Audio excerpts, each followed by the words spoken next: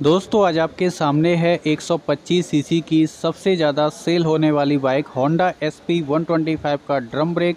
Price की बात करें तो ड्रम ब्रेक में इस बाइक की ऑन रोड कीमत है अट्ठानवे हज़ार सात सौ पैंतीस रुपये और डिस्क ब्रेक में इसकी ऑन रोड कीमत है एक लाख दो हज़ार आठ सौ तिरसठ रुपये मथुरा यूपी में।